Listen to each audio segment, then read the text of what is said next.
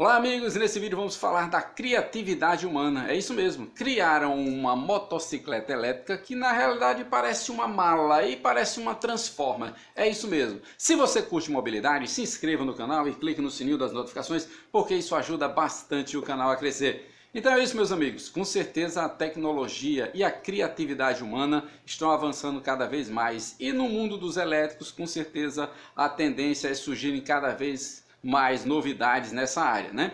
Inclusive no design, né? Então, ou seja, uma empresa japonesa lançou uma moto elétrica, né? Que realmente parece uma mala de viagem, aquelas de rodinha.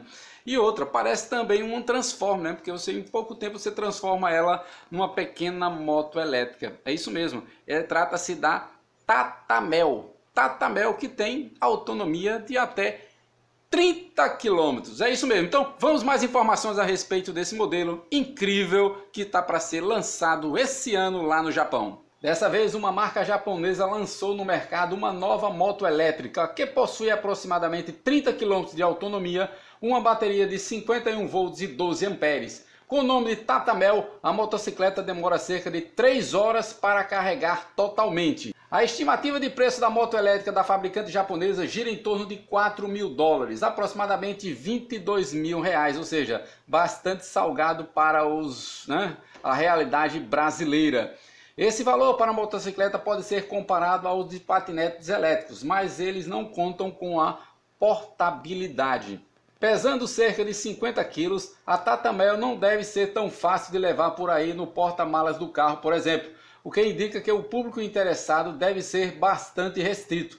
O modelo atinge até 40 km por hora e vem equipado com um motor de 600 watts nominal com potência de pico de 2.000 watts. A nova motocicleta é uma moto elétrica Transformer, possui o tamanho de uma mala com rodas de 10 polegadas, Além disso, a moto elétrica japonesa possui uma autonomia expressiva, além de uma porta USB que oferece alimentação para outros dispositivos.